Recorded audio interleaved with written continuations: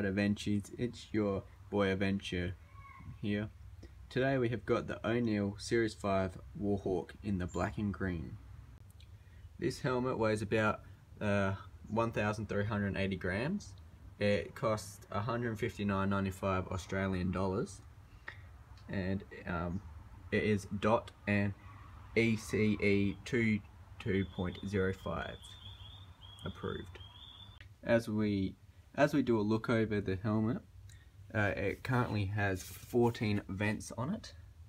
Up top for air, around the back, all around there, as you can see. This helmet has got some great aerodynamics, but unlike the Series 7, the mouthpiece is a lot fatter and wider. The shell of the shell of this helmet is a uh, polycarbonate ABS shell, so quite lightweight. Um, it, the, this helmet comes with a rubber roost nose guard right there, as you can see.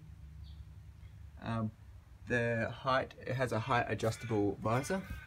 Twisting this knob here helps raise the visor up and down. Do it back up. Um, underneath it, it has got the double D strap, chin strap, two buckles there. Now, now the padding on the inside here is a Coolmax padded liner, Ultra Plush. It is also removable and washable, and you can even have a look inside there. As you can see, it's got all the approved stickers and labels all on the inside. Lucky for us, this is a red cover and it's also got the um, plugins for a neck brace as such there at the back as well as air vents. This is a this material is good for when long rides, it, you won't get as sweaty and uh, you keep nice and cool, which is quite good. And this helmet isn't too heavy so you won't get too hot if you decide to go with this brand. O'Neal makes one of the best helmets, person, my personal opinion. Um, this is just one that looks a bit like a fighter jet as such, or a warhawk as they call it. Um, one of my favourite helmets is this one of my favourite helmets out of the Series 5.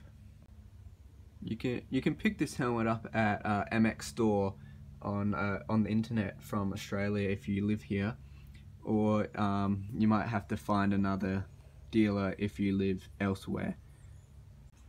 The bag that will come with your helmet is this uh, grey silver uh, O'Neal bag. Um, on the inside it is quite soft. Um, it has a single pulley system at the bottom and it also comes with a user manual and other things. As you can see it's a lot different fabric, quite soft and uh, protects of the helmet. Alrighty guys, this is your boy Adventure signing off. Um, I hope you enjoyed this video. If you did, please like, share and subscribe. More helmet videos, hopefully to come in the future. I reckon the next one we'll do is a comparison of the Series 7 and the Series 5 helmet. Hope you stick around to see that. Adventure out.